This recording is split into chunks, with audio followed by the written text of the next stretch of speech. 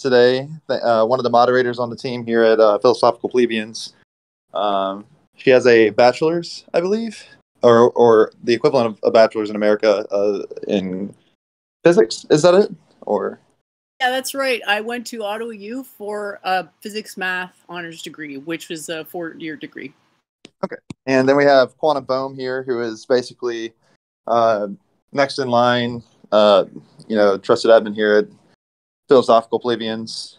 And uh, he essentially is taking the anti realist position here in regards to ethics and values. He's a moral anti realist, I believe. And he's a bachelor's in uh, aerospace craft engineering. Yeah, aerospace engineering. Yep. Aerospace engineering. Yeah. Um, so I guess what I'm going to do is I'm going to start off by letting the moral realist, um, or you know what, I'll let you start off on because Jen said that she she mainly wanted to uh, respond to what's being said here. I guess I'll let you open up and we'll hear what you have to say, and then we'll move to just general discussion, and then after this we'll have questions from the audience come in. Um, but yeah, go ahead, Quantum.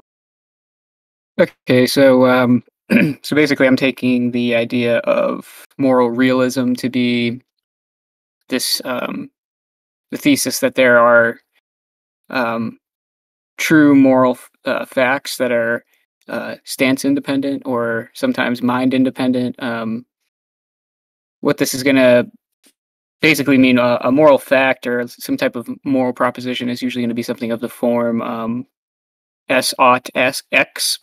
That's a mouthful, but it, it's so S is usually a, a shorthand for a subject or a person. Uh, it's an index indexical term, I guess. Uh, so if there's a true uh, proposition that takes the form S ought X, where X is like some action or decision that they should make, um, and that that the that property that that proposition um, is true uh, dep- independent of all stances. So stances are going to be things like um, the particular beliefs and desires of a person or subject or mind.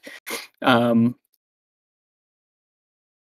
so, so one of the things that um, well, maybe we can get into it a little further from there. But yeah, so so a, a moral fact is just taken to be a, a normative uh, statement. So it involves uh, an ought um, or a should, right? Um, and you know, uh, if you if you look at the the, the common uh, way that the dialectic is framed by um, by Kant is uh, between hypothetical and categorical norms. So hypothetical norms are these norms that are um, conditional on the sort of aims of a person or a group. Um, so you, you, might say, like, if your goal is to um, not dehydrate, right, then you should drink water. Those are going to be sort of hypothetical norms, or sometimes called imperatives.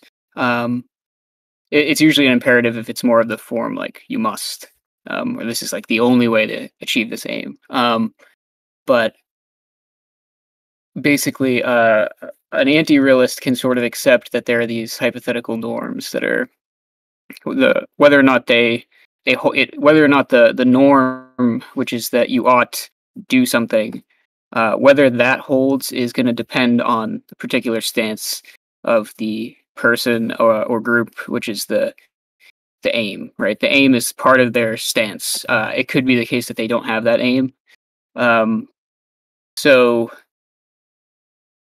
uh, a realist wants to say that there are categorical norms, which are norms that don't have any reference to uh, an aim or uh, a desire, right?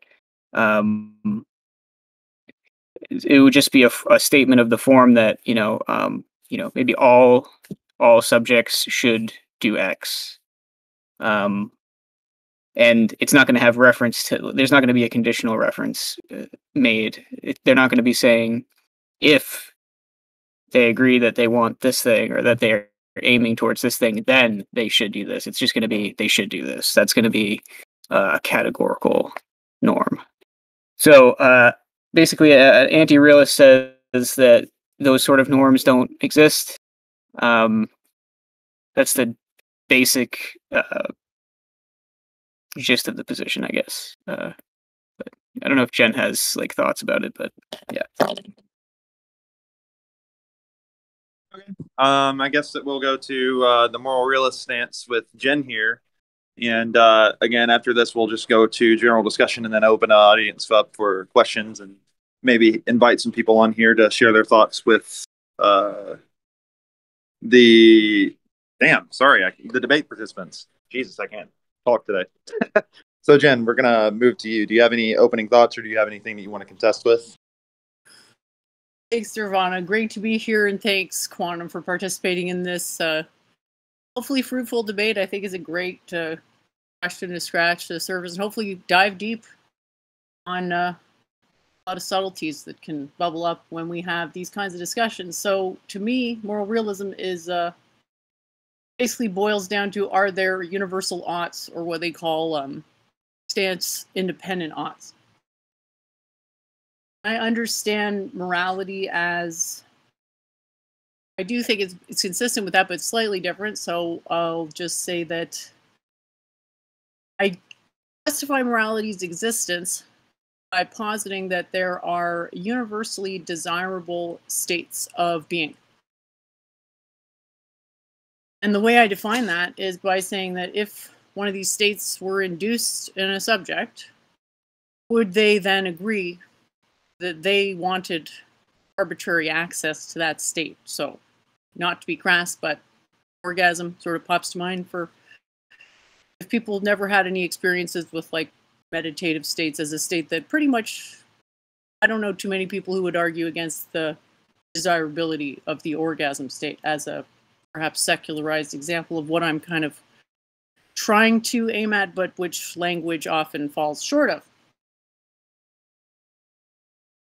I guess I looked at the arguments that were posted in the general, and I was looking forward to going through them and seeing whether they were sound. Because I had some questions and comments about all of them. And uh, maybe we can proceed in that direction. I don't know how much more I can really try to justify objective morality in a monologue, but maybe just say real quick what if morality doesn't have, if there is no such thing as objective morality what are religions talking about? So i guess i would start with uh, the beginning assumption of my argument which is that there is such a thing as a universally desirable state of being or multiple of those states. And I would ask you if you would agree or be inclined to agree with that uh, proposition.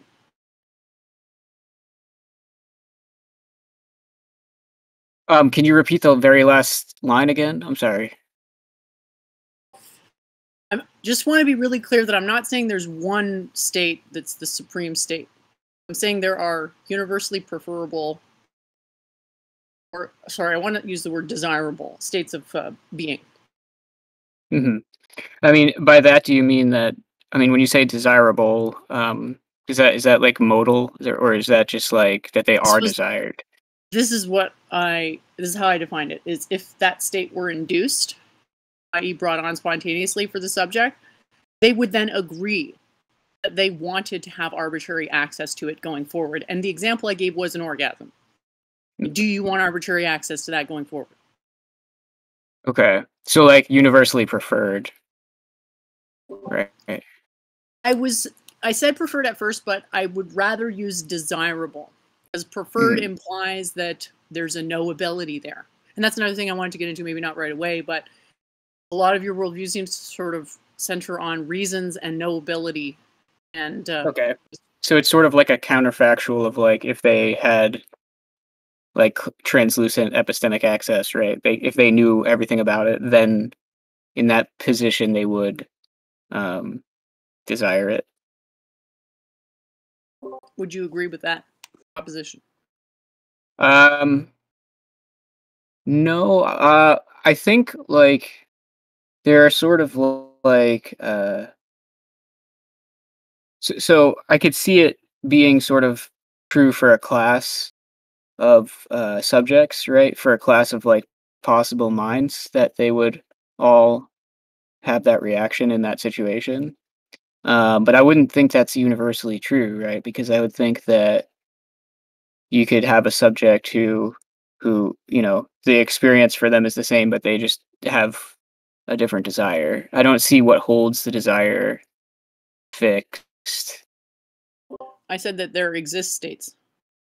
I'm not even saying orgasm is an example of one of those states. I'm saying it's like one of those states. I'm asking basically, do you believe in a state of mind that everybody would agree if they could experience it that it was desirable?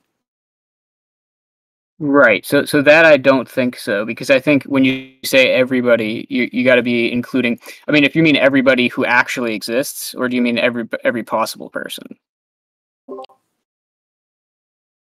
Um. Well, I'm. I guess I'm talking about we could verify experientially with data. I would just think that there's like a possible person, right, who could who could have uh desire the opposite of anything you could kind of come up with like that you know if it, whatever if you're holding the thing fixed uh and you say you know is it possible for somebody to have the the reverse desire that most of us have towards this uh, i would say prob i would say yes like i don't see a reason why not right? Because of something called least action principle that basically means someone was wired opposite everybody else but that aside what i think is that if you're going to believe in objective morality you it pretty much follows from believing that there are universally positively valenced uh, conscious qualia or states of mind yeah i mean i think um i think it's it's possible you could make a sort of like empirical argument that um like it's a it's a it's universal insofar as we can tell and sort of like extrapolate from there you know but uh when you say like wired that way and things like this it's like yeah through like the evolutionary processes that we developed through right? Um but i think like in the in the conceptual space uh you know you could come up with ways that things could develop differently um and i would just think that you know when I'm thinking about these like sort of statements as universals, that it would include, you know, um, atypical cases that aren't like in the empirical like data that we Are have. Are you talking but... about S5 modal logic, where if something is conceivable, than it's necessary in some world? No, no, not not that. I just think that uh, if the possibility is there that, like, in you know, in a thought experiment sort of sense that I could come up with a counterexample then like the rule. So, so if I'm if we're saying like an orgasm or whatever is something that when anybody is fully introduced to it, that they will they will want that, right? Um, like I don't see how we could infer. So I mean, take that case, but then take a case of something like more mundane too, right? Let's say you like um, jogging, right, or yoga, right? And then somebody else doesn't. Um, I don't see what the difference is between the two cases where you're going to say for this one, everybody will have the, the same reaction to it, or everybody will have the same like states of desire towards this. Well, you're basically saying that, you can't tell the difference between yoga and jogging. Tell the difference? Wait, is that what you said? Just sounds like you're saying that you can't tell the difference between yoga and jogging. Well, perhaps like in terms of values that people have towards them, um, you know, it doesn't mean they can't tell a difference, but when you make an evaluation of things, like say, like, would I rather go to, you know, uh, see this movie or go and play mini golf, right? Like, let's say I have like, I'm roughly as apathetic towards either decision here or something like that, right? My my like, it's like I'm kind of torn because I can't really make a so it's not that you can't tell the difference between what they are. It's just that your evaluation of them is sort of in balance, right? Uh, but is if if we're yeah, I could just say I didn't actually get to my definition of morality yet. Um, oh, I sorry. Basically said that if we can't agree at this point, th- then you will necessarily not agree with my definition of morality. So it doesn't make sense to progress to the definition. At least okay. maybe not now, just because I disagree more. If like basically I had the convo mapped out and I didn't think I could get you to agree on the univalent states. So I was going to proceed to ask what could we agree on? Mm. Um, so I think If you nowhere, if you don't know where to go, if you don't know where to go with that, I would have a follow up, which is how do you account for human cooperation? But if you want to just focus on what we could agree on, please feel free. I just thought it might be too vague. No, I think uh, I think the idea too is that like I don't really equate universal uh, universalism about like ethics uh, with ob- objective morality or like moral realism because I think like um, you you could sort of reject universalism and still be a realist. I don't know too many cases of people doing that, but I would say that there aren't any like strict rules or moral principles that guide like human ethics. Um, and so like I would say I'm a particularist, which means that sort of uh, like what informs ethical decisions are like the particulars of like each case. Uh, you have to go case by case, and you, you can never say you can never make uh, universal statements like that that are going to hold across all cases. Well, Um, doesn't particularism become the universal statement at that point? I mean, I don't think so because it's not really it's it's sort of meta normative. It's not really a normative statement in itself. It's like higher order like uh say you have a belief about a belief, right? You you say like say say you have some weird belief that you're like a tree, right? And then you have a higher order belief that is like the belief that you believe you, are a tree, right? Can Um we just back up a minute, please, before this gets too hard for me to conceive of? Um, can- I'm just saying that it's not a mean? universal so when you say that like um when you say that uh there are no true universal um moral principles. That's not a that's not a moral principle right? It's about a moral principle so it's like meta normative right? So if the thing is in the sentence, uh, meta, the thing.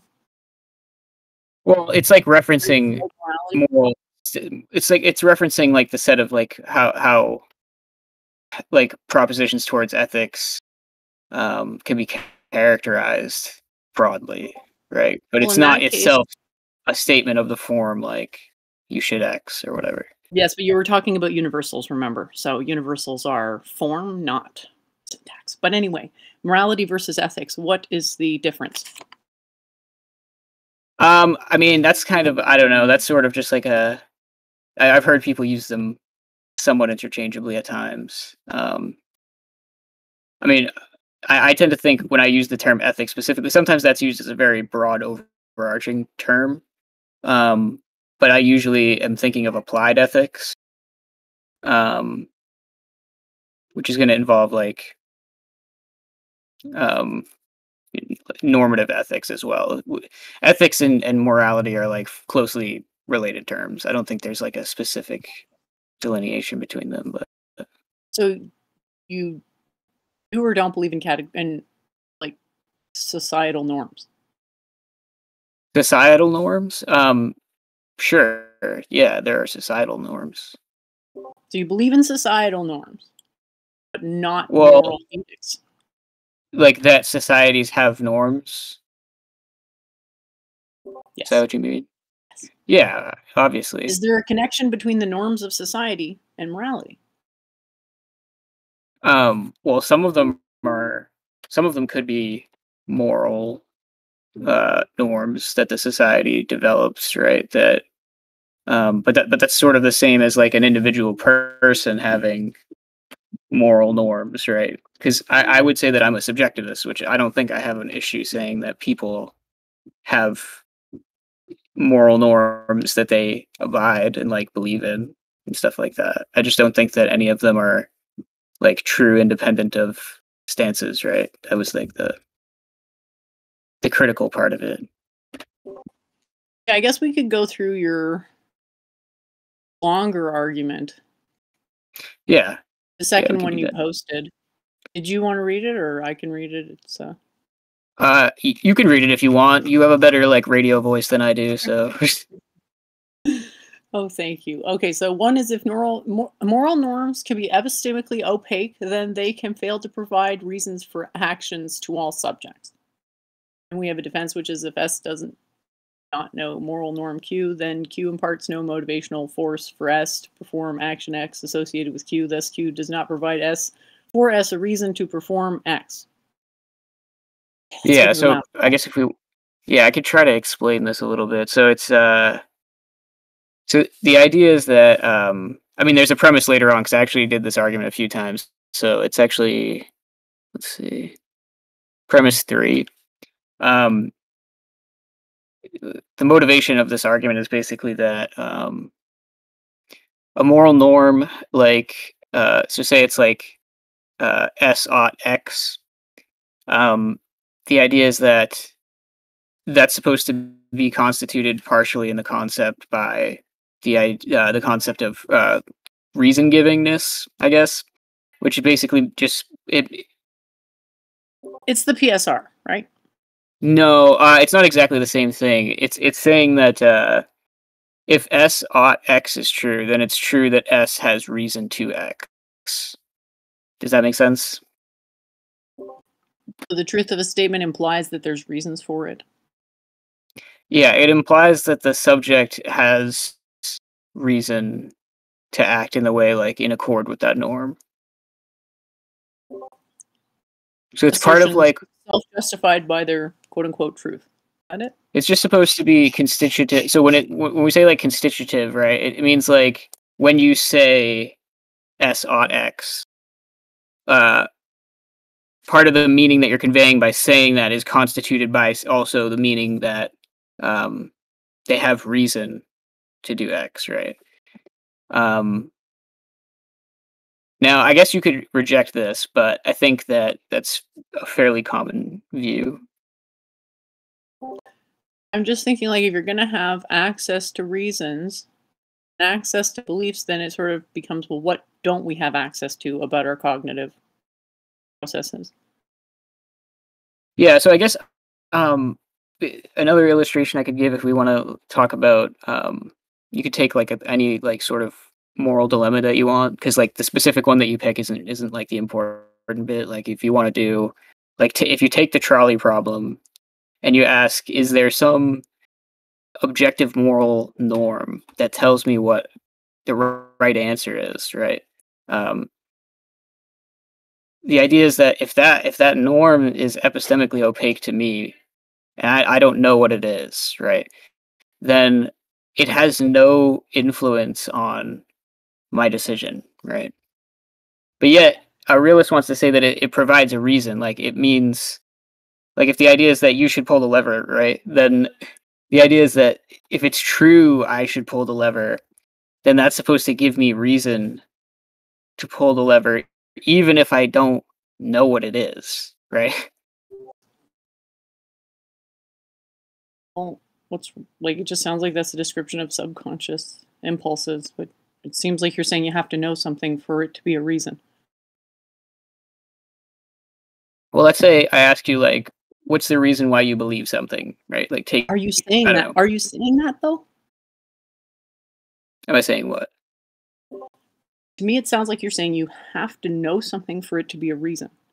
I'm asking, is that a fair representation of your view?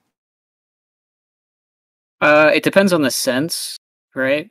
So in this sense, if they mean something else by it gives you a reason, then I'd have to know what that what that means a little bit, right? Like um hmm. So if it, if it if they mean it in a sense, which it does seem like a lot of people do, that by saying like that S ought X, therefore S has reason to X, right? For for me, that would that would entail something to do with motivation, right? Um, which is going to depend on the stance, right? Um, Motivation is going to depend on stance. yeah, like it's going to be stance dependent because whether or not um, Well, I don't know if I would agree with that. I still just really want to know do you have to know something for it to can there be unknown reasons for things? Because to me that's the reasonable Well, presumption. guess- I like, guess- I start with that presumption that everything is unknown except for a very tiny amount in my you know cogito or whatever. Yeah, so like to clarify a little bit too, I guess um uh what I'm what I'm saying is that it's it's part of the stance the state of knowledge is part of their stance. Right. And their beliefs and desires inform their um behavior, right? Let's say. Does that make sense? Well, it makes sense, but then I know that when you say belief, you mean something someone has rational access to. So it just always is going to come back to me. For me, I- it's I- going I to come wouldn't even- to how do we point to the thing we don't presume we have rational access to?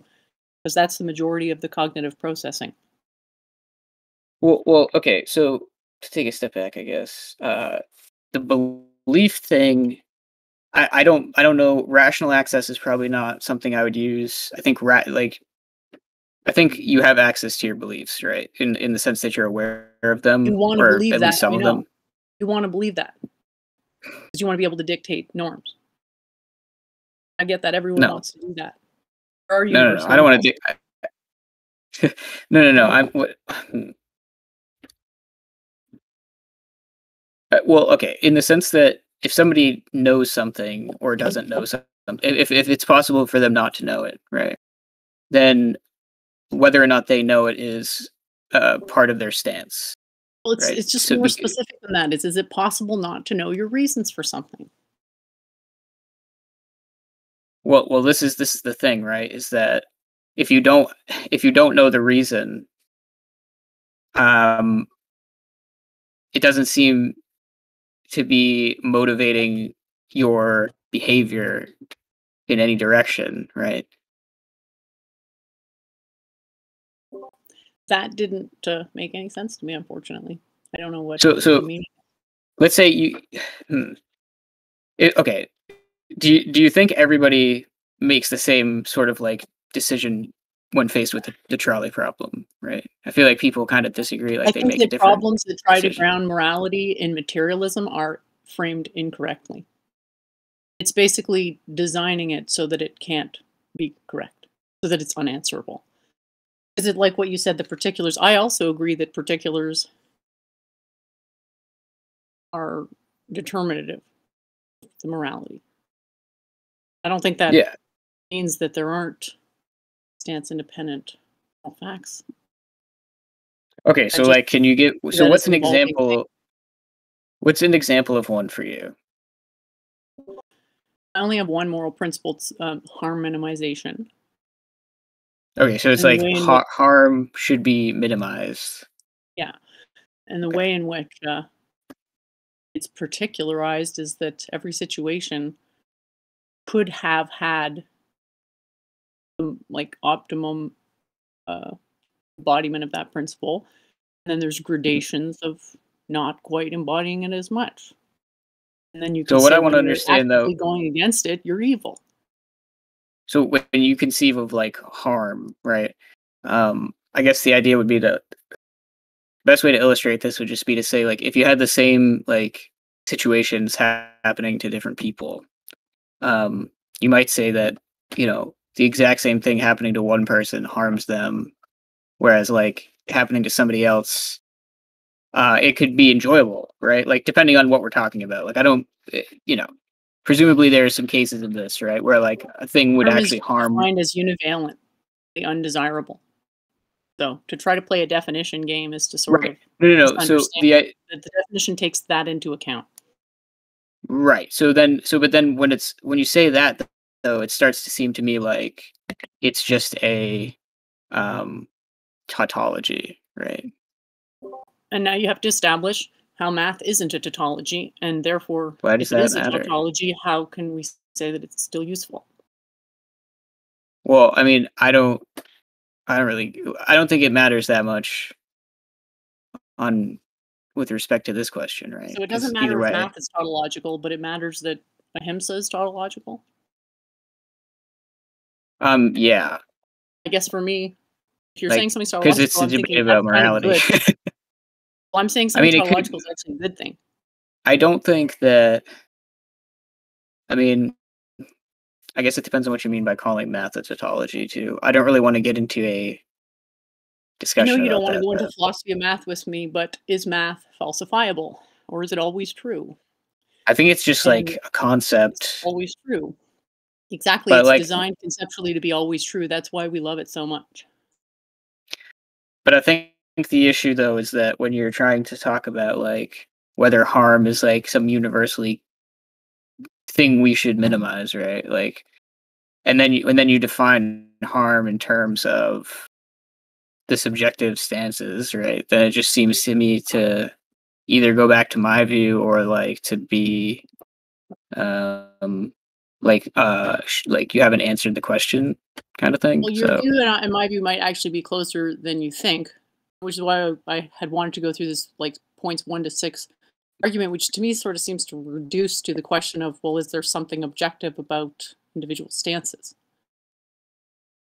um is there something uh, objective about subjectivity? And I'm going to go ahead and say yes. It's the principle of consciousness. Sort of. Well, I, I would agree with you in some sense that you know uh, subjects are sort of like a subclass of uh, objects, like, but that's obviously controversial and stuff. But the thing is, though, is that like so it's take something like opinions, right? Like, uh, which are sort of like okay, these are like paradigmatically like little subjective things. Like we all kind of think opinions are subjective, right?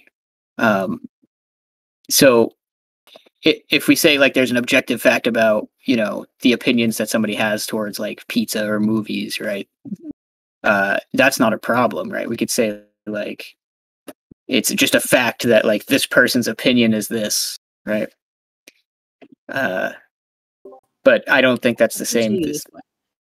I'll put it to you this way: we're not really talking about anything outside the class of humans, um, and so we have to answer the question: Is subjectivity objective? And I think it's a bit of a fool's errand to think we could answer that precisely, but we sort of have to think about what's reasonable as a presumption. Like, well i think there's sort of like experience is quote objectively, i.e., signals processingly of the same kind.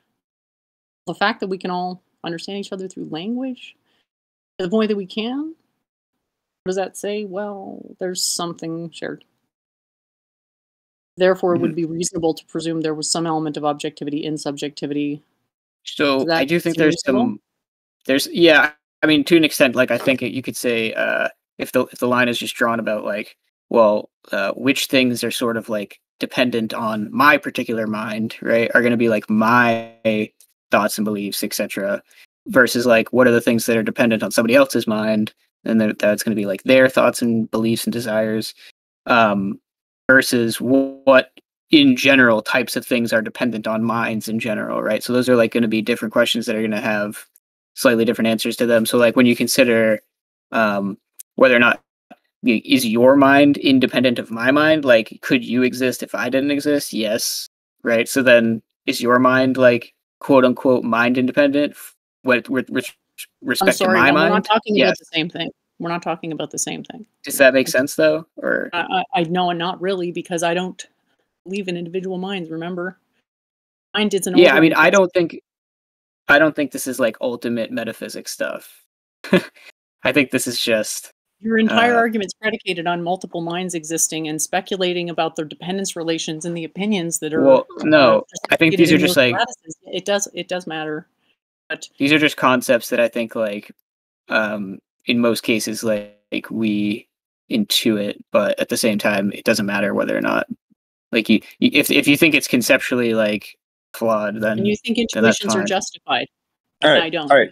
All right, everybody. Um, I'm going to pause for a second because I actually uh, have a question from Franks that I'm going to uh, ask real quick. Uh, Franks wants to know Are there any moral facts that are universal for Sully? uh no Yeah, I, I didn't think so because, I mean, obviously, but. Um, no because yeah Good. Yeah. Um, and I was going to ask uh, both of you, what are your thoughts on on error theory? Yeah, I think like I think the view that I have is sort of compatible with error theory, but I don't really call myself an error theorist because I mean I just want to say that moral facts are indexed to subjects. So um, you know, S bot X can be indexed particular to one subject, right? Like like with the hypothetical norms that we were talking about at the beginning, right? Uh, so error theory is just saying that all the all the categorical normative statements are false, which I agree with. So yeah, another thing about uh like Frank's question is like uh an example he used later on was like he would assume that like murder would be wrong in all cases, but like it's not necessarily the the thing that's in question is not necessarily like the act of murder as more so as just like the act of killing because we've we've you know created murder as a law to prevent unlawful killing um you know but like what's what's at question really is more so like the killing itself like is killing is more interesting to talk about in my opinion. That's just me adding on. But we, we can go back to discussion if you guys don't have any thoughts on that or Um, yeah, I mean, like, I think killing is is is immoral in some cases, probably, right? Like, that's my view on it. Uh, I think in other cases it can be what it can be the thing you should do. Um, if we're not, when people say murder, that has that always carries the connotation of being immoral. So it's cases of killing that are immoral. But I mean, most people are okay with self defense, um, and things like that. So defense of other people. Jen, what do you think about that? Do you think that that killing is immoral in all cases, or do you think it's case by case, like Sully's saying? We didn't quite get to my definition of morality, but uh, the best word to get a primary intuition would be reciprocity. So, killing is moral, you know, as often as you'd want to be killed. So, uh, in regards to uh, some more definitions, I guess, or some more labels for uh, things that I've heard people come up with, is that Tom, you know, T Jump uses the word involuntary imposition of will to define like what's immoral, and therefore, like in certain instances, he considers killing in self defense specifically a justified immoral action. What would you think about that? What would you think about that in particular, Quantum? Uh, justified immoral. Okay, I, I understand what you're saying. So like this idea that like it always has a negative valence to it. Um, yeah, I don't know if I really buy that. Um, like, I I don't even privilege like in the sense that Tom does, like the idea that like oh you can't like impose your will on somebody. Well, I mean you know most of what we're interested in when it comes to morality is uh, when think when people are going to do something that uh, they're not to like they're not to be convinced away from doing right? Like something like i don't know just just some horrible horrible thing right? Somebody wants to start a war like or you know do an attack somewhere right uh, on innocent people. Um thing is is that you know in those cases i don't think you're doing something wrong by uh if that's the only thing that you that you have that you can do to stop them right? If you're going to kill somebody like i don't think it's immoral at all uh in my view. You know because i think it's the thing you should do right? So it's like it's going to be cashed out normatively. So it's going to be should you do it or not right? Uh and if the answer is yes then i don't see why that's immoral view to do it. Um i don't think there's this like higher like perspective on the situation that tells you no that was actually still bad you know So do you do you not view it as like, for instance, um, the act of killing existing separate from what is giving you the inclination to kill somebody? Do you not view that as something that would exist separate from like, like for instance, so like just like yeah go ahead No, I was saying like like for instance like like the idea of me killing somebody like like just just existing separate from like the inclination of like why I feel like I need to kill somebody. Do you not view that like there's somewhat of a separation between those two things? in like in a vacuum, like with nothing like sort of contextualizing it, just the idea of killing. Like isolated. Is that what you mean? Yeah, I'm not even asking you to like take a moral stance on those things. I'm just saying like Well, I would would just you- say like if you isolate it that heavily, then you can't say whether or not you should do it or not. Like so yeah. that's why that's why I take the particularist view is that like you have to fill in the details a little bit, you know. Yeah. I, Can I I ask a question about uh, error theory? Yep, go Yeah. ahead. And you guys I can go back wanna- to uh, open discussion after that. Thanks, Nirvana. I just want to make sure that it's uh, um, an error theory of ethics is the view that the ordinary user of moral language is typically making claims that involve a mistake. Is that correct? Uh basically, yeah. Uh I would agree with be- that yeah. because there's no Um, reason to think that any claims would be correct without a significant amount of self-inquiry. And I made this diagram was actually inspired by that uh, combo that about whether beliefs are knowable on the friction server there. I think what makes it really hard to fathom is that beliefs are logical. We just don't have access. We don't have rational access to them. So Yeah. I think I think partially function in a way. Let me just finish here. If we have a way, sorry. uh, things that are inside us that function the same way math does, we don't have access to. It makes sense that we would just assume we had access to them because it feels like other stuff that we understand. I guess. And yeah, that's all I wanted to say. Go ahead. Yeah, I think I think part of the issue too is that um, you know, sometimes in a certain situation where I'm uh I was gonna debate order, right, originally. So uh like there's there's some common like academic philosophy stuff about moral realism and, and these sort of topics. Um that if you have a different view on things like belief and like general epistemology and, and things like if you if you differ from like the philosophers who call themselves moral realists significantly enough, but you just like the term or you know, you still want to call yourself that. Um that's fine and like a lot of the critiques that I have towards it might not land on that. So um yeah, like there's nothing wrong with that either. Like if you if you like want to call yourself a moral realist and like represent that as a different position than what's commonly talked about, like or at least in the circle of you know academic philosophy that I've been exposed to, right? Uh yeah, it could be that none of the stuff that I have against that view apply to you, right? Um, yeah, that's why I was saying our views might be more similar than you thought because I kind of think there is moral truth, but that it isn't accessible in language. I don't know if Yeah, that view is something um, that would be almost like mysteriousness view or something. I don't know what So- you call that. Like what is it what is it about so do you think like if we're talking about the, the trolley problem or whatever, right? I mean maybe you want to say that those are well I mean, let's just say it's a more like realistic case, right? Like let's just underspecify the hell out of it. But let's say like you're in a situation in real life that has like some like moral weight to it, right? Uh, do you think that there are actually like facts of the matter about what you should do in that situation that are like outside of you? I just find the entire phrasing extremely uh, extremely confusing like for me it's about whether something could have been better i'm trying to minimize the amount of could have been betterness if that Hmm.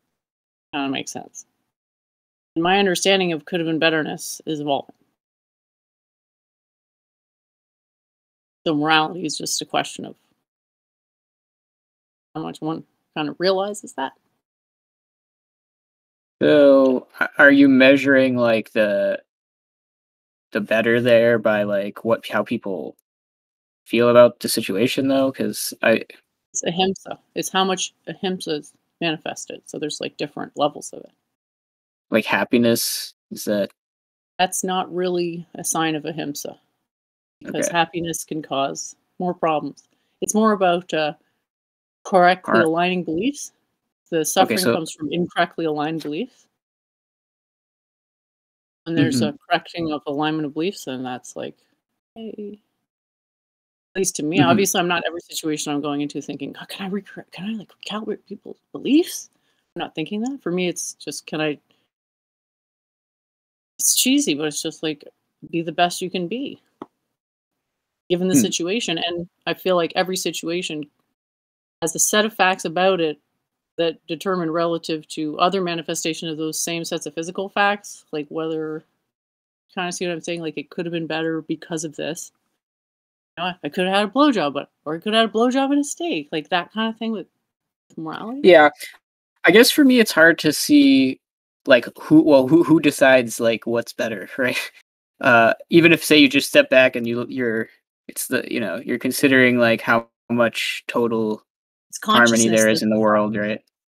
It's consciousness that decides.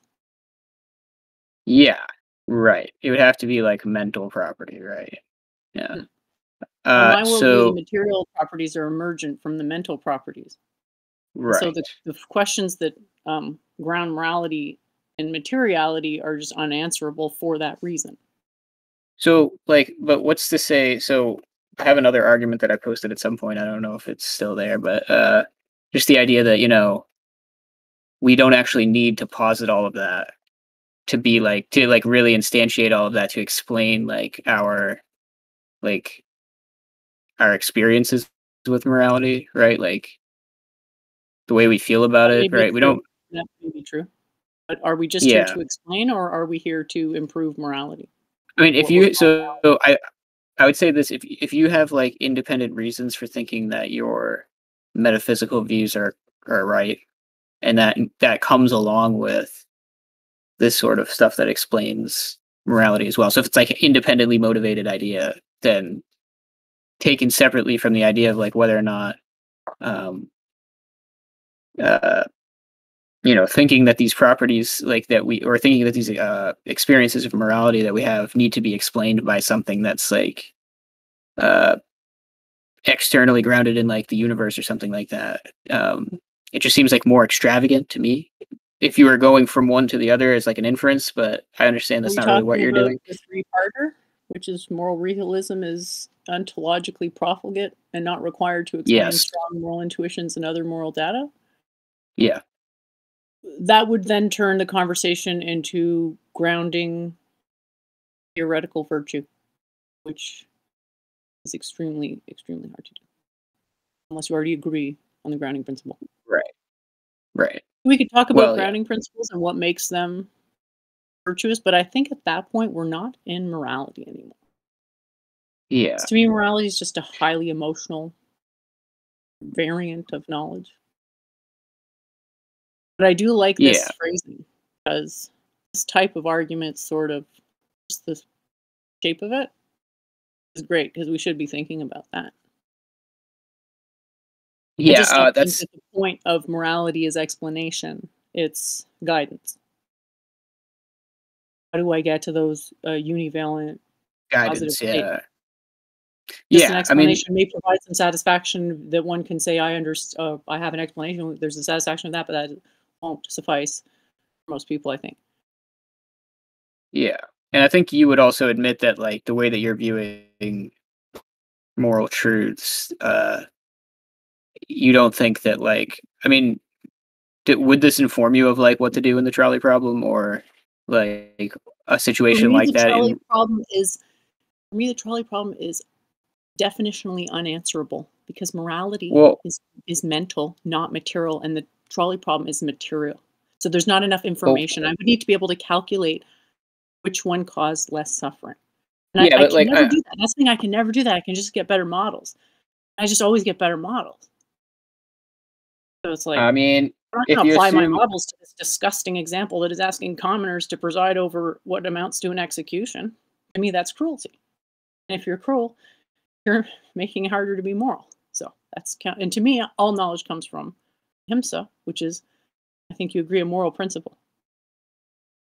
Sure, but like okay, but I mean surely like there are cases of this sort of not the exact thing happening, but like, you know, um you have to make a decision between like you're in your your your your hand is forced, right? And you have to make a decision and both both elements of it are going to be like you know, maybe harmful to people like say your car is out of control right and you know it's like you you either going to crash into another car or you're going to like crash into like a like a house where like you might hurt somebody or something I like that, that. right That's So- fine. What's so I'm just saying, like- because asking about who dies isn't a, a moral question. Well, in the trolley problem, I think it's like it's supposed to be that if you you just like stumble car- across the situation and like if you don't do anything, like five people are gonna get run over, and the only thing you can do is pull a lever, but you're still gonna kill one person. I feel like That's like the trolley problem. what I said. Yeah, I get that. I So, like, why can't we fallacy of the imagine being in that situation, right? It. The fallacy of the Oh, trolley problem is but what's the- asking the question. Yeah, but what's the fallacy in that like something like that actually happening to you, right? Like, sure, There maybe it's no Saw from the Saw in being movies. asked to preside over an execution, but I don't know why a it's a fallacy in demanding that commoners make decisions that in that are uh, that um, horrifying. Right, sure. But like let's say somebody is like a crazy evil TV showrunner and they and they actually like set they actually put you We're in that situation. morality anymore. We're talking about evil at that point. You can't use an example. Well, that person that evil, person which is asking is commoners evil. to preside over executions, which is evil. well we definitely agree Then that that person morality. shouldn't do that, right? Like Morality is not the absence of evil; it's the presence of good. So, it's ill-framed to use something evil to justify something good. but like you're not doing anything like you haven't done anything evil. Th- This is just a situation that's like been, been thrust upon you, right? And then you have to just and then there's like only two options for you at that point, right? And it's like I mean, it's not your fault that you're, you're in that situation, obviously. I don't think anybody's, you know what I mean? Like, nobody's trying to say that. It's just supposed to be sometimes you only have bad options, right? Like, I don't see why that's not relevant to like moral decision That doesn't right? mean morality isn't real, though. So I don't Well, see what the point of that what, example. what I'm asking you is like, is there a right answer in a situation? I've answered you twice already, so I'm thinking you're just not listening. I said there's no answer to any moral question grounded in physicality because it's fundamentally a mental property, aka suffering. But like doing things to other people is presumably bad, right? Like, I shouldn't, should I, you know, should I go and steal from people? And, suffering. Suffering that is the determinant. So if you try to rephrase it so that suffering's not the determinant, I'm going to just tell you anything you try to rephrase it where suffering's not the determinant is going to be incoherent. That's why well, you're it is, it, have to go so far in these directions with these presuppositions. no, no, that's fine, right? But let's say somebody like, deny that there is such a thing as morality at the end of the day. Right. So like let's say something like, you know, if, if I'm like if somebody's like Aladdin and they're like starving and they they steal like a loaf of bread and it doesn't harm the persons they took it from very much, we would maybe say that like there's nothing they didn't really do something wrong. Like let's say. Um or what they did was not terribly wrong, right? Um versus like if you're stealing where we're drawing lines with acceptability. Well, you're making just- it a lot more Yeah. complicated now. I'm just trying to draw like uh, a spectrum here. So then, then there's, you know, somebody might steal from a person who it really affects, like in a harmful manner. Like they needed that money for something, and it's, you know what I mean. Like, and it causes them mental distress. Is that what you're saying? Like that, the level of like harm that's brought to the person mentally is, is what's going to make it bad, right? What I'm saying is that situations that make it impossible to judge the to estimate reasonably the amount of suffering caused, aka materially founded. Well, I'm saying like it can be affected by I mean, if it's just a question of is it one person who dies or five, Mhm. then it makes sense to estimate everyone has the same capacity for suffering, and it's better to save five than one. That's yes. yeah, I mean, but I would say that I would never ask that question of someone because it's evil, because it makes puts people in a position that is completely unrealistic. well, like what I would say is like they make a choice like that. Uh, No, I agree. It's bad to put somebody in that position. I agree, but the, the idea too is that uh, you um, can see why I would think that questions like that are, are presented by people who are anti morals. well, sometimes the framing is like this, right? Like, so for certain people, they wouldn't pull the lever because the situation is not like something that they created, and they don't have to like become like part of the situation just because they like see that it's there and that if by by pulling the lever like, like they are actively causing somebody to die whereas if they do nothing like they aren't like morally culpable for the situation in any way I get that. I get that. That's why I said it's a model, and that's why I said the situation's in, underdetermined because it's not modelable. Because you can always do what you're doing here, which is undermine whatever premise you want to put forward. You're saying you always want to be able to undermine the premise. I'm saying these comically absurd underminings of lengths you need to go to to undermine the premise undermine the undermining in a way. well i guess like if you want to construct a different case or something we, we could do that like if you think there are better examples of or if you think that morality just doesn't have much to do with decision making right like then uh we could talk about what I think emotion is what motivates decision. And emotion is connected to morality, but not determinative because people have different levels of realization of morality. So it couldn't be determinative. Yeah. Uh, so so so okay. Like let's say there's like just these like there's these truths, right? Like sort of like metaphysical truths about You know, um, I, I don't believe in minimizing-. I Okay, okay, believe in met- the the principle you said about minimizing uh like harm basically. Um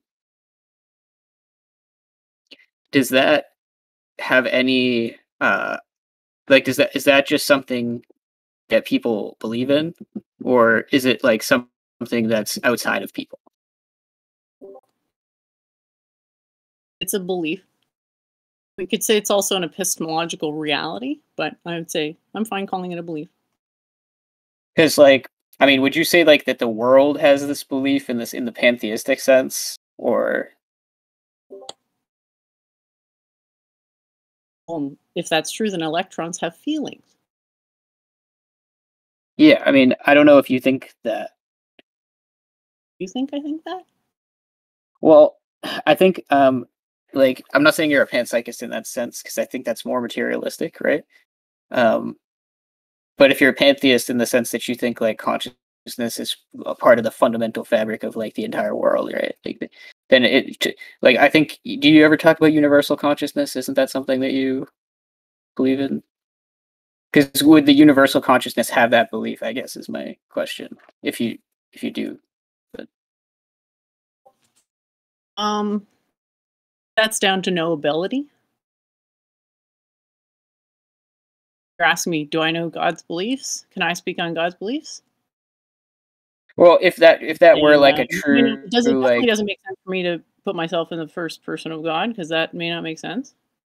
Well, if it not. were, right? Let's just say like in the case that it was, would that count was that what counts as a uh, like objective moral fact?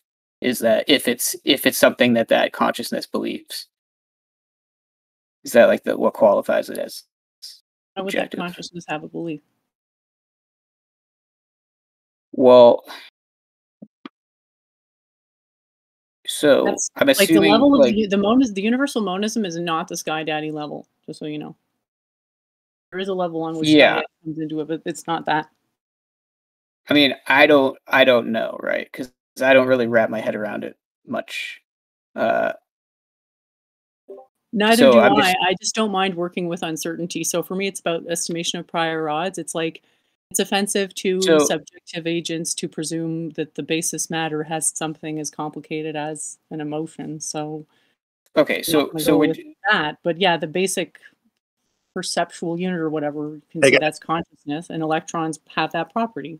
Hey guys, I just want to interrupt real, real quick. Probably going to go for like maybe three more minutes, and then I'm going to open it up to uh, the audience and start letting people come up here and ask questions directly, and maybe engage you guys in discussion if that's okay. Yeah, I could do it for a little bit. Um, what was I gonna say? Uh, uh, I'm sorry. I've been on like many different tracks, and I keep kind of like my brain keeps going back and forth between different tracks, so I'm kind of losing where I'm at.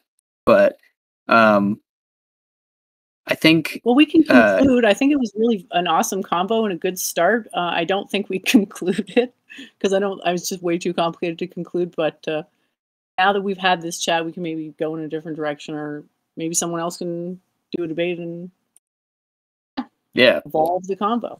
Are you guys are you guys just ready to start the audience then or Yeah, yeah. And if anybody has like wants to speak to the arguments that I posted earlier, I can like repost them. I guess. I uh, is there? Does this have? I'll put them in stage chat. Okay. Um, we're going to start off by uh, if anybody has any questions for either of the interlocutors here, please raise your hand. Um, if not, if you don't want to speak, feel free to put your question in the main stage chat and tag me. Otherwise, thank you guys for. Co- okay, I got Full Metal coming up here. What's up, Full Metal? everyone. It's good weekend. Yeah. Good discussion. I mean, nice and Did you have a question for either of them? yeah. I mean, uh, for particularists, uh, I mean, is this a language dependent stance that uh, moral facts are dependent on language, or is that a language independent thing? Because I think both of you guys were talking around it, but we didn't uh, get like because ultimately for I would say for moral facts they need to be independent of true of language and I would say moral facts and uh, maths are in the same category that they cannot be true independent of how we define them in language. So kind of a particularist view, but I think there can be some uh, meta norms or but yeah we can have a discussion around that but i guess that would be my question like what is your uh, opinion on the uh, language independence of the moral fact You want to go Yeah. first, Colin?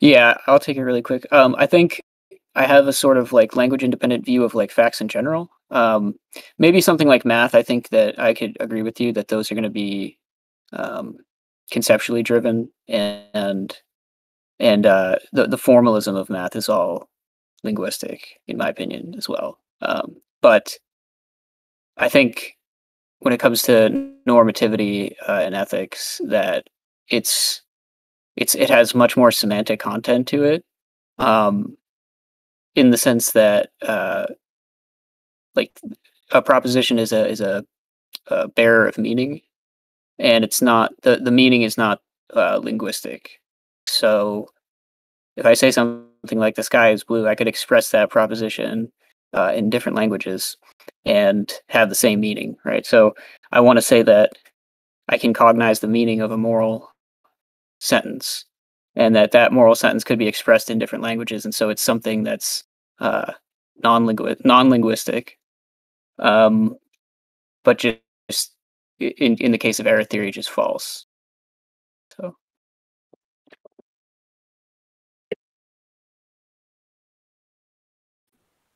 Hey, Full Metal. Um, are you done, Quantum? yeah sorry Uh, yeah, thanks for joining. Nice to hear your opinion. Um, not sure I caught the full question, but it seemed to rely on language independent assertions. If Sanskrit is what the universe is made of, the universe is vibrations. Vibrations are in Sanskrit. We I can mean, never uh, falsify the proposition that there exists, or we can never establish the position that language independent things exist. I'm not saying I want to take this position now, which is why I tried to keep it off language independent anything or language anything because I don't think we really define or understand language um, specifically enough. We could talk about that. It would be great to go into that, but yeah, we didn't. That wasn't the topic here today. But I do like the idea of going into language uh, questions. No. I hope that explains why I didn't quite get into it.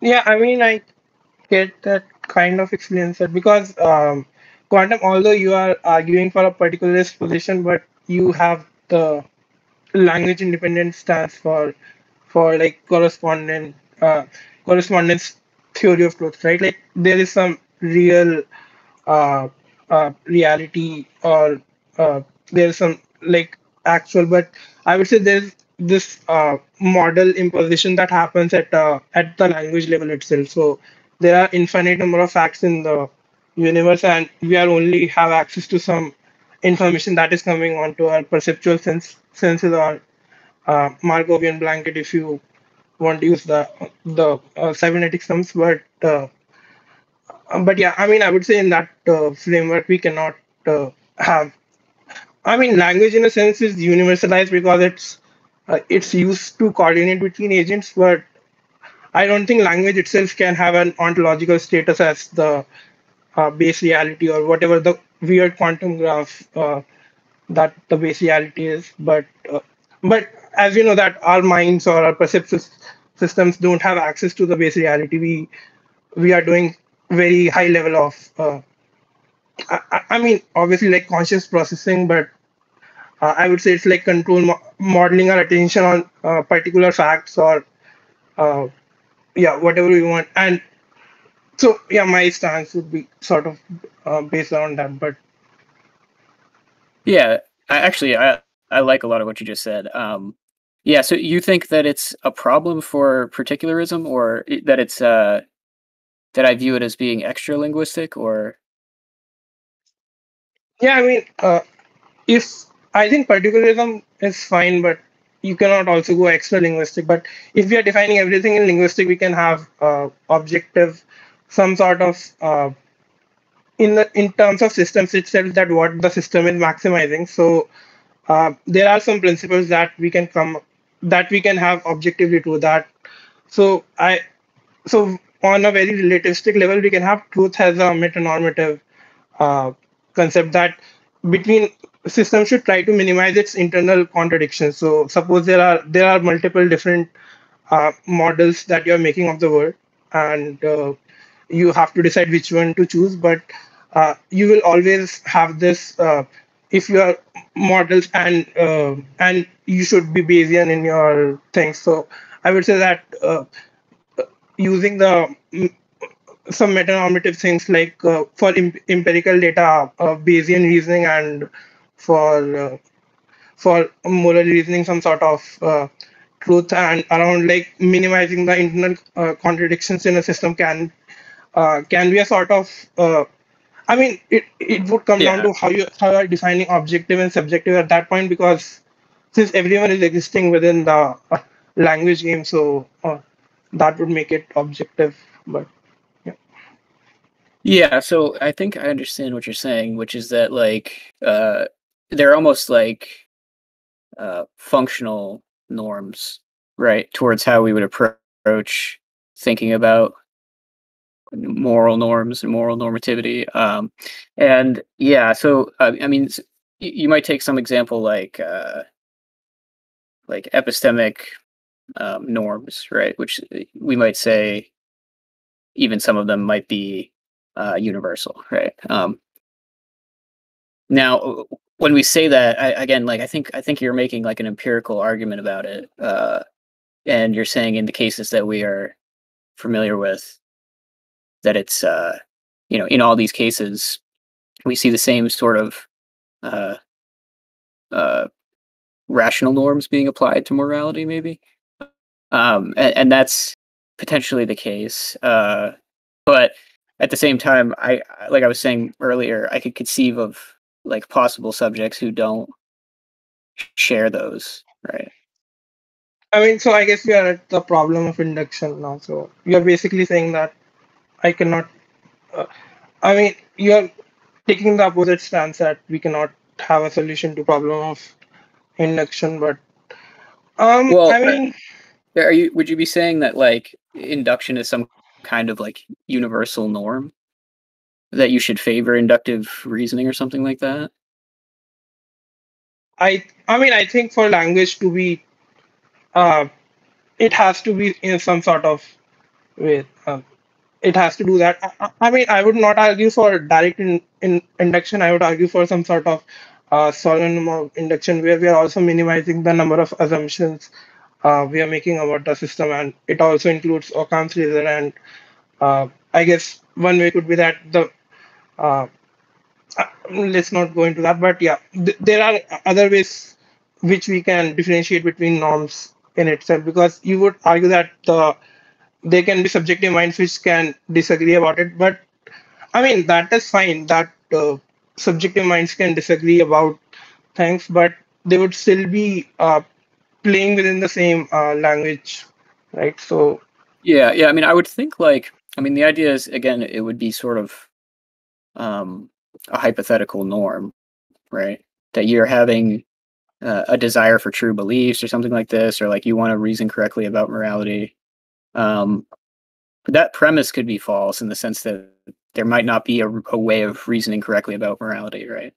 Um, and yeah, you could but- still have that and inform that hypothetically, but but to be functional i mean in a functional sense we always have to have some sort of model of uh, reality and a way to judge so i would say that eh, from a decision point of view that this would be a better uh, it, it would be better that the agents that are acting in the system be, work across some sort of meta normative framework and that uh,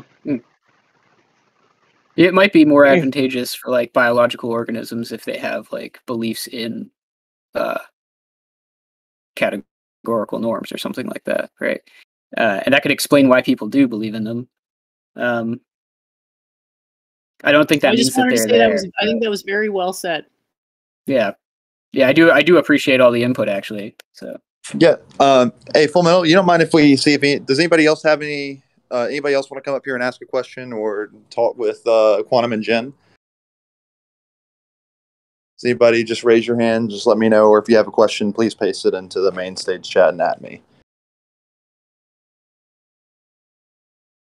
Okay. Uh, Euler wants to hop on. Full Metal, thank you for your time. I'll, I'll invite you back up if we don't have anybody else to speak and you still want to talk.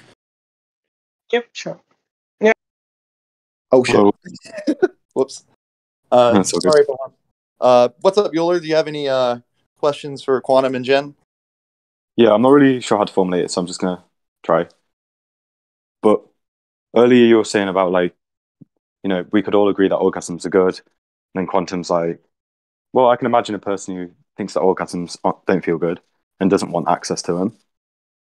But um, I, I want to like throw God into this, the equation here, right? Like, you know, we, we all agree that if we drop a ball, like the ball's going to go down to the ground. Uh, and then you could like imagine, or maybe there's like a type of ball that like when you drop it, it like goes up.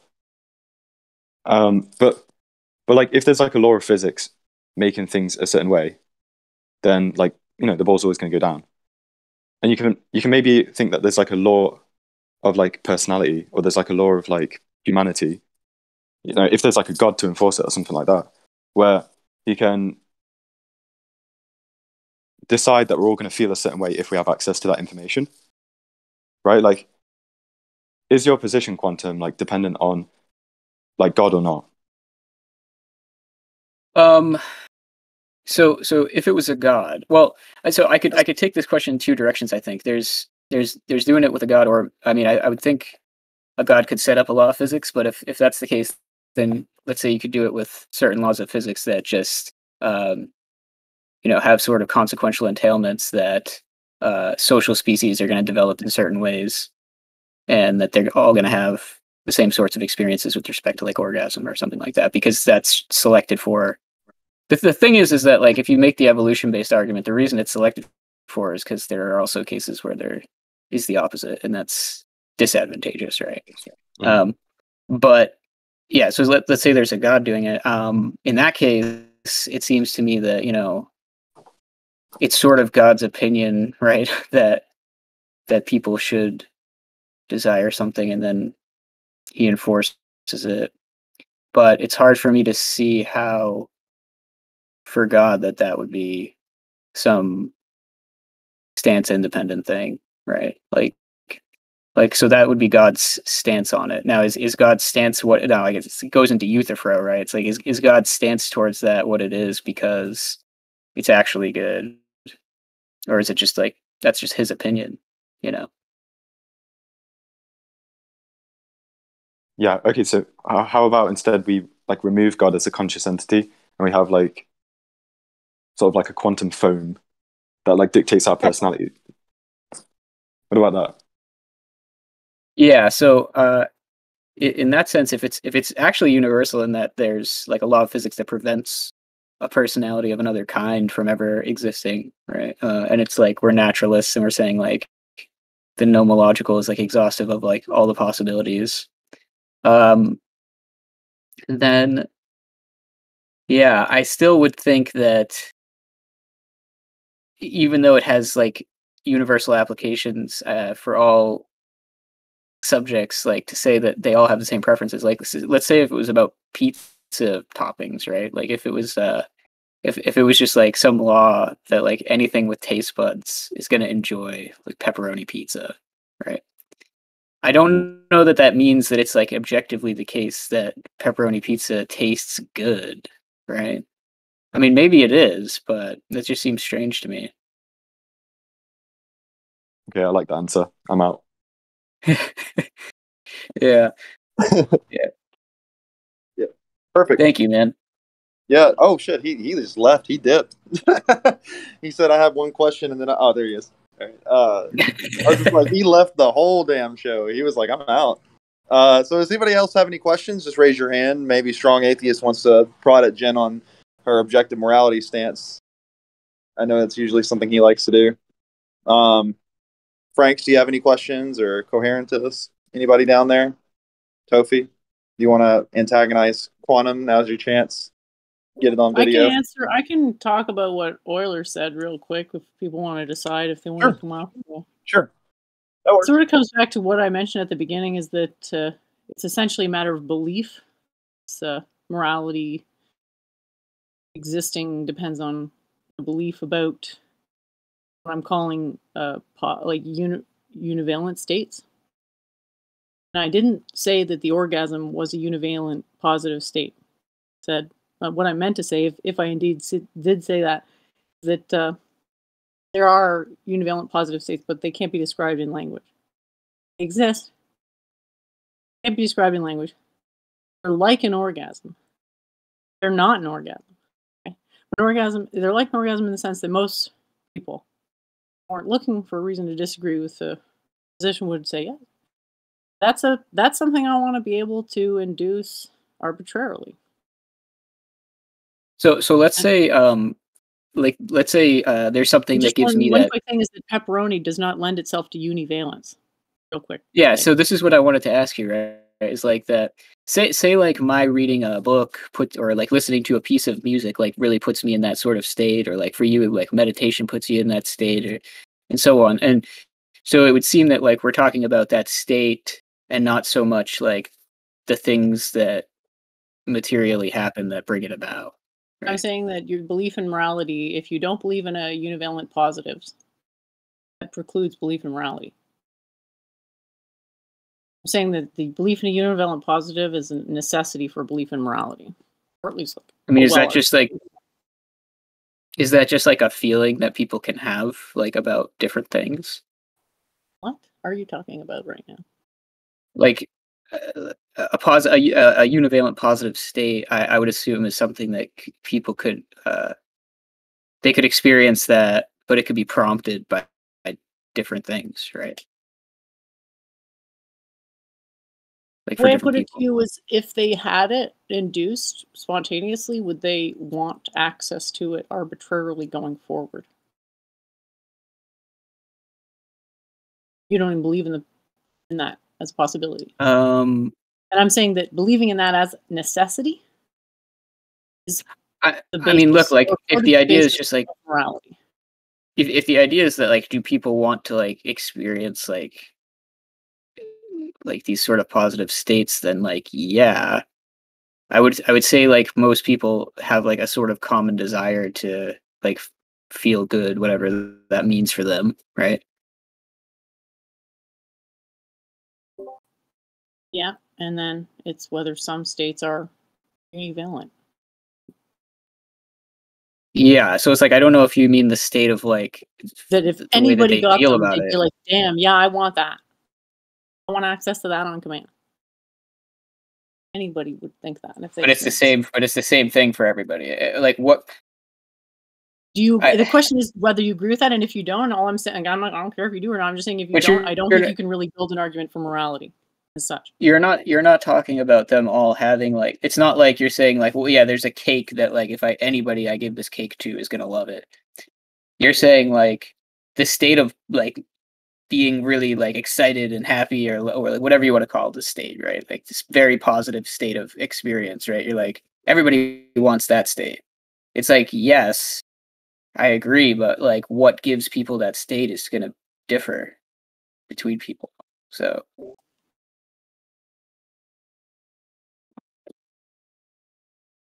that wouldn't mean that morality didn't exist in my understanding. But Franks, did you have a question? Uh, I kind of had a jokey question. I was going to ask, is the orgasm a moral fact? I would call it more of a biological uh, cycle. Okay, and quantum, I was going to ask you, do you lean towards error theory or uh, is it independent from error, error theory? Uh, I just like I just call myself a moral subjectivist, which is like slightly different, but it's it's related, and I don't really think I'm in like conflict with error theorists. But okay, thanks, guys. He hasn't drank the error theory Kool Aid yet. Is what he's saying. he's taking a shot at all error theorists watching this. So if you hear this, that means you have to come debate quantum. No, I'm kidding. but no. Uh, so, guys, I think that unless anybody else has any questions in the audience, I think that we have covered pretty much everything that we need to cover. Um, so, if you guys want to wrap up and give like your closing statements and whatnot, and um, we can just move it to a general stage after this if you guys want to. Um, but after the um, after the closing statements, I think we should just probably stop recording. By the way, Giz. Uh, but Quantum, if you want to go first, or Jen, do you want to go first? I can go just real quick. Uh, yeah, I'm sorry I didn't do a great job as like debater today because um, I don't think we were really like that adversarial, but I think we were kind of exploring concepts. We are doing conceptual analysis TM, and uh, and that was fine, and I had a good time. And uh, you know, I still don't think morality is objective. Um, uh, if anybody, if if we can, if we end up doing the original debate with order again, that would be cool. Um, but I think Jen did a great job. I think I think her view again might be a little bit different from the sort of like academic uh, view of moral realism that's like prevalent today. Um, and she might still want to consider herself a form of moral realist, which is fine because these sort of terms, like you know, they have orthodox interpretations for like lengths of time, and then they change, and uh, maybe someday what people in philosophy are calling moral realism will look totally different than how it looks now. Uh, um, so, uh, yeah, I think it was good. So, thank you. Yeah, um, great debate. I uh, did not want it to be adversarial because I really just figured the chances of there being a large amount of communication in this debate were low to begin with. And uh, I was pleasantly surprised. I think I learned a few things, and my position hasn't changed. I still